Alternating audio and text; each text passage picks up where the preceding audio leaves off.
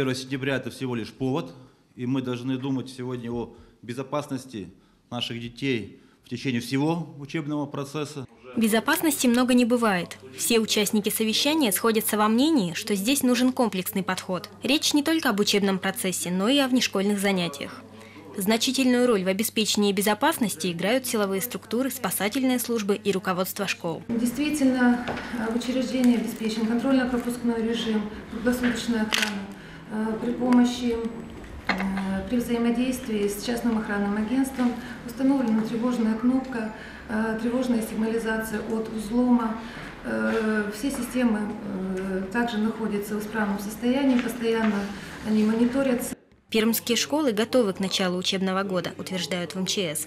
Все учебные заведения обеспечены противопожарной сигнализацией. Почти во всех школах установлены тревожные кнопки и введена пропускная система. Подготовка к новому учебному году идет и на магистралях города, докладывают представители ГИБДД. 70% примерно разметки нанесено у всех учебных заведений. Значит, также дорожные знаки обследованы, где необходимо есть у нас светофорные объекты, лампочки заменены.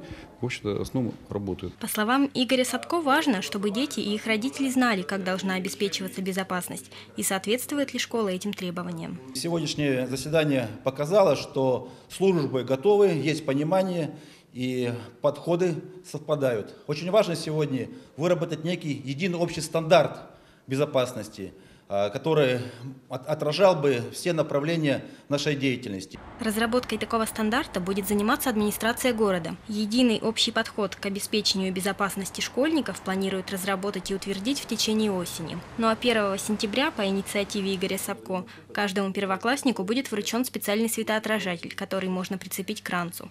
Еще один элемент безопасности в экипировке школьника. Александра Михеева, Александр Хробостов, телевизионная служба новостей.